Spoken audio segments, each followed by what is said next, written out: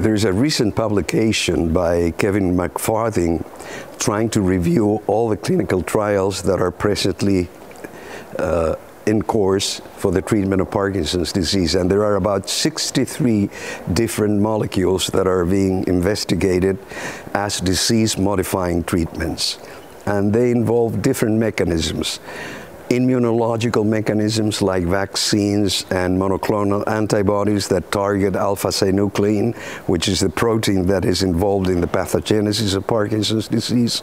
And there are several other drugs that target inflammatory mechanisms, oxidative mechanisms, trophic mechanisms. So far, none of these drugs have reached a stage in which we can say for sure that soon we will have a disease modifying treatment. We're hopeful.